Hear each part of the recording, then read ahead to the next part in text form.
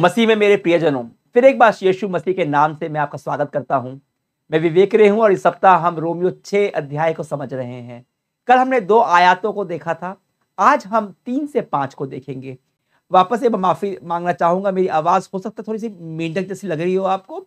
मेरा गला खराब है और ये पूरा हफ़्ता आपको थोड़ा सा कष्ट सहना पड़ेगा मेरे गले की वजह से शायद से, क्योंकि एक साथ बैठ के करीबन मैं पूरे एक हफ़्ते की रिकॉर्डिंग करता हूँ मैं। तो हम पहले याद कर ले कि यीशु मसीह में हमारा उद्धार हुआ है। परमेश्वर ने हमें धर्मी ठहराया है और वह हमें यीशु मसीह के समान धार्मिक गिनता है। परंतु हमारे व्यक्तिगत जीवन में पाप की प्रकृति के साथ हमारी एक लड़ाई जारी है और पॉलुस इस लड़ाई को लड़ने का, जिसे धर्मशास्त्र की भाषा में पवित्रकरण कहते हैं सेंटिफिकेशन कहते हैं, इसके लिए हमें एक नई सोच दे रहा है। हम शायद इस जीवन में यीशु के जैसे संपूर्ण तो नहीं बन सकते। वो तो तब होगा जब यीशु के हम पास होंगे, हमारी मृत्यु के बाद या फिर जब वो वापस आएगा उसके बाद। परंतु हम आज भी एक विजेता का जीवन जी सकते हैं, जो रोज पाप की प्रकृति को पछाड़ रहा है। यह है जो हम आज कर सकते हैं और इसलिए हमें अपने विश्वास के बारे में कुछ सत्यों को जानने की आवश्यकता है। और एक बहुत बड़ा गहरा सत्य यह है कि हम अपने विश्वास के द्वारा यीशु के साथ एक हो गए हैं।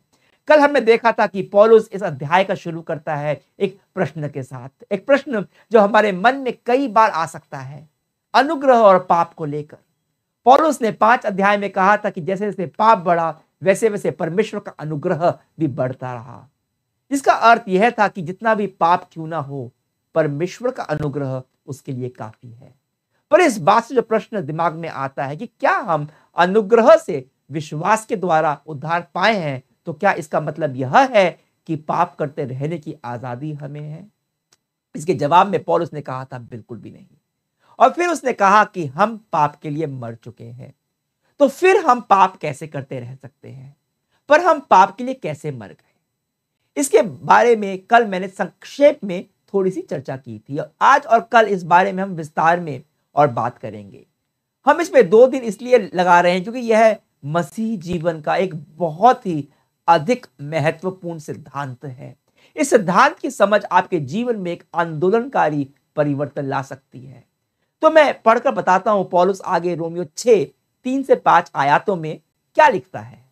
या क्या तुम नहीं जानते कि हम जिन्होंने यीशु मसीह में बपतिस्मा लिया है, उसकी मृत्यु का ही बपतिस्मा लिया है। सो उसकी मृत्यु में बपतिस्मा लेने से हम भी उसके साथ ही गाड़ दिए गए थे, ताकि जैसे परम पिता की महिमामय शक्ति के द्वारा यीशु मसीह को मरे हुओं में से जिला दिया गया था, वैसे ही हम भी एक नया जीवन पाए। क्योंकि जब हम उसकी मृत्यु में उसके साथ रहें तो उसके जैसे पुनरुत्थान में भी उसके साथ रहेंगे। अब तीसरी आयात में लिखा है जिन्होंने यीशु में बपतिस्मा लिया है। अब आप जानते हैं कि जो नए विश्वासी होते हैं, वे लोग पानी में डुबकी लगाकर पिता, पुत्र और पवित्र आत्मा के नाम से बपतिस्मा लेते हैं। पर क्या पौलुस उस बपतिस्मा की बात यहाँ कर रहा है? नहीं। क्योंकि पानी में बपतिस्मा तो कहीं नहीं लिखा, पर लिखा है यीशु मसीह में बपतिस्मा। बपतिस्मा यीशु मसीह में। इसलिए थोड़ा सा बपतिस्मा का अर्थ हमें समझना पड़ेगा, होता क्या है बपतिस्मा? ये आप जानते होंगे कि बपतिस्मा हिंदी शब्द नहीं है और न ही अंग्रेज़ी का। अंग्रेज़ी में बैप्टिज्म कहते हैं, हिंदी में बपतिस्मा। दरअसल यह यूनानी शब्द है बैप्टिजो जिसका अर्थ है डुबाए जाना, फिर या फिर कैसे तल्लीन हो जाना। इसका प्रयोग किसी चीज़ को साफ़ करने के लिए, पानी में डुबाए जाने के लिए होता है। जैसे बर्तन को साफ़ करने के लिए, कपड़ों को साफ़ करने के लिए कहते हैं, पानी में डुबाते हैं, वैसे ही। जब किसी को पानी में डुबाया जाता है तो माना जाता है, जैसे पानी शुद्ध होता है, वह भी शुद्ध हो गया। एक और उपयोग इस शब्द का होता है, जब कपड़े को रंगने में, कपड़े को रंगते हैं ना, रंग में डुबाकर, उसके लिए। और फिर कपड़े का रंग भी बिल्कुल वैसा ही हो जाता है, जैसा कि रंग का, जो उसमें पानी का रंग होता है, वैसे ही कपड़े का रंग भी हो जाता है। इन दोनों उपयोगों का मतलब एक ही है, जिसे डुबाया जा रहा है, उसकी प्रकृति, जिस पदार्थ में डुबाया जा रहा है, वैसी हो गई। वो उसमें समा गया, वो एक हो गया। इसी आशय का उपयोग करते हुए हम तीसरी आयात का अनुवाद ऐसे भी कर सकते हैं कि जो यीशु मसीह में डूब गया, उसकी मृत्यु में ही डूब गया। मतलब उसकी मृत्यु में एक हो गया। मतलब जो विश्वास के द्वारा यीशु मसीह में डूब गए हैं, उसमें समा गए हैं, उसकी प्रकृति, उनकी प्रकृति कैसी हो गई है? यीशु मसीह जैसी हो गई है। और यह एक आत्मिक सच्चाई है। जो लोग यीशु मसीह में विश्वास करते हैं, वे यीशु मसीह में और यीशु उनमें होता है। एक आत्मिक मिलन। और अब यह बात सुसमाचार की बहुत ही अहम सत्य है, जिसे अक्सर हम सुसमाचार बताते वक्त नहीं बताया कर, बताते। कि जब आप विश्वास करते हो तो आप और यीशु मसीह एक हो जाते हो। तीसरे आयात की शुरू में देखिए, पॉलुस क्या लिखता है? क्या तुम नहीं जानते? मतलब यह बात पॉलुस के पाठक पहले से जानते थे। पॉलुस इस बात को एक विश्वासी के लिए साधारण ज्ञान मान रहा है। वे इसे जानते ही होंगे।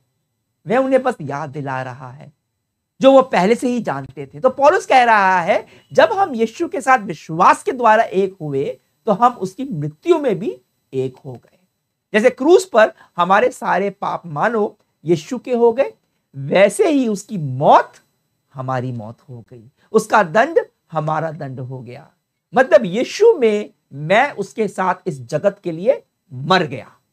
मैं अपने पुराने जीवन के लिए, इस पापमय जीवन के लिए मर गया। इस अध्याय में पौलुस इस बात को कई बार दोहराता है। आगे छठी आयात में वह कहेगा कि हमारा पुराना व्यक्तित्व यीशु के साथ क्रूस पर चढ़ा दिया गया था।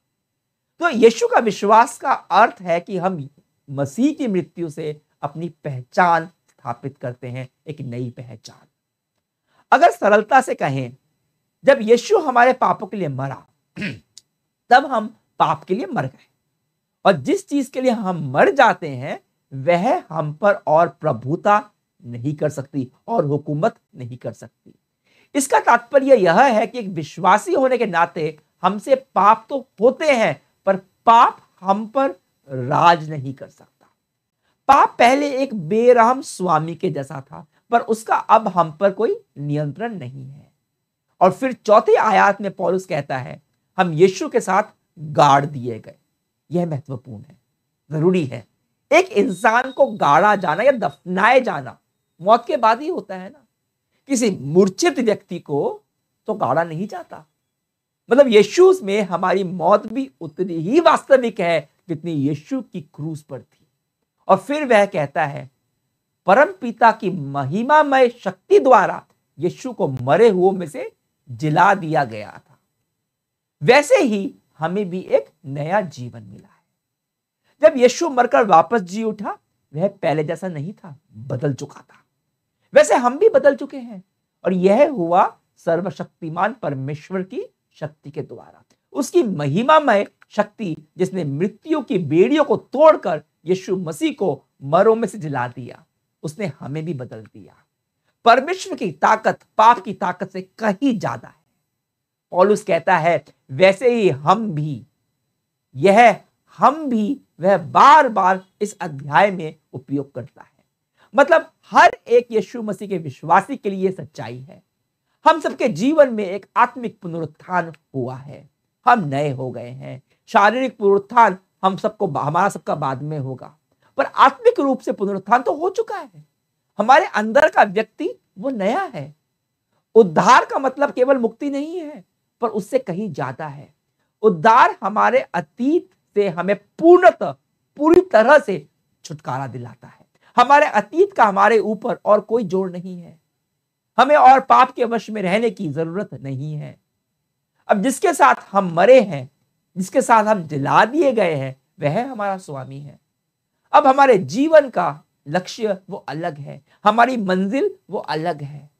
इसका मतलब यह नहीं है कि हम प्रलोभन का सामना नहीं करते करते हैं। और प्रलोभन में पढ़कर पाप भी कर जाते हैं।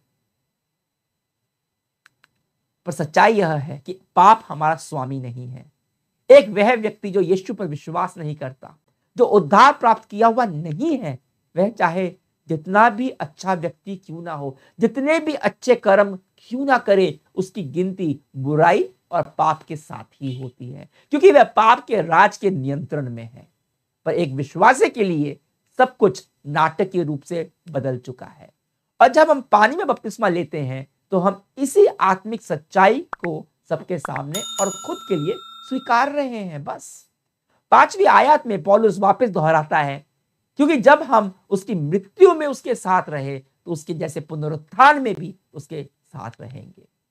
पहले हम आत्मिक रूप से मरे हुए थे, क्योंकि पाप की वजह से मृत्यु के वश में थे।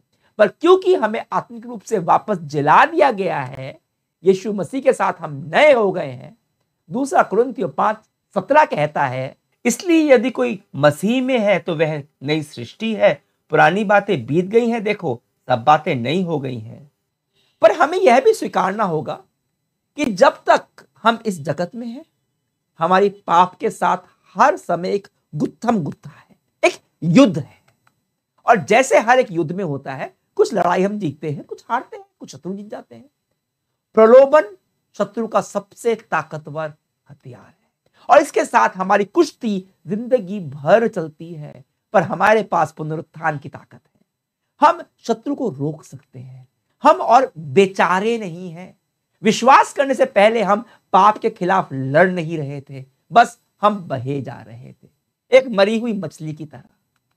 पर अब हम युद्ध में हैं और यह आत्मिक युद्ध जीवन भर चलता है और यह आत्मिक युद्ध दरअसल एक प्रमाण है कि हम यीशु मसीह में हैं। हम उसके साथ एक हैं। क्योंकि अंततः युद्ध तो परमेश्वर का ही है ना।